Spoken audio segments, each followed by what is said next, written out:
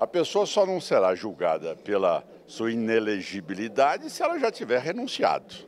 Agora, a sua inabilitação é norma contínua. O Senado Federal não tem o poder de promover a dosimetria da pena.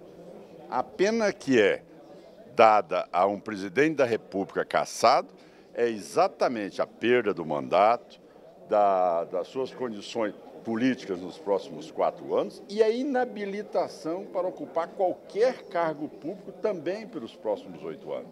Essa tese de que teríamos duas votações, uma tratando exatamente da cassação do mandato e outra é, discutindo a inabilitação, isso não procede.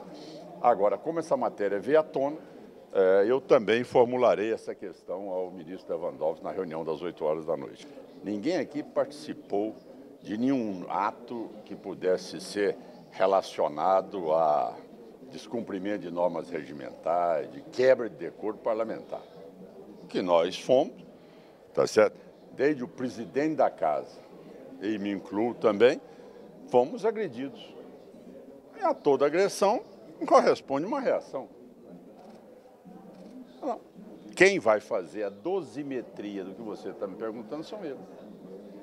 Se eles vão dosar para que seja uma temperatura mais alta, vocês vão dosar para ser uma temperatura mais baixa. Está na mão da oposição nesse Não, momento? na mão da Dilma. Exatamente dela.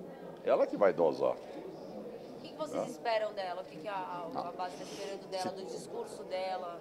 Se tem uma pessoa que não tem a menor capacidade de fazer essa avaliação, sou eu.